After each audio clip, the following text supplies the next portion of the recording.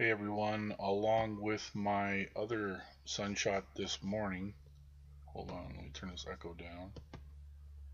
Um, I am posting this video because of a guy in Australia that was seeing the kind of the same thing.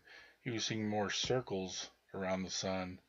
Um, as you can see here, I am seeing almost like a halo at the top, kind of like a planet or something hidden behind it. I'm sure it has to do with the lens um, because I had no filter over top of this.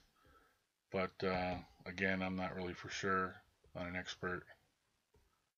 You can kind of see it moving with the sun.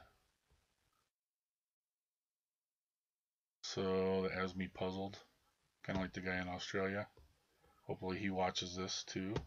Let me change the color image a little bit. Here's what it's like when I shot it. Totally bright. We're going to gamma down just a little bit more. There we go.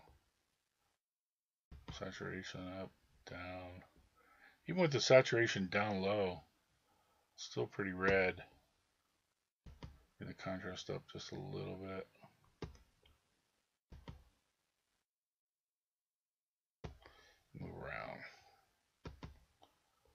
So you film experts and photographers out there that know your shit, maybe you guys can let me know what I'm looking at here. And thanks for watching.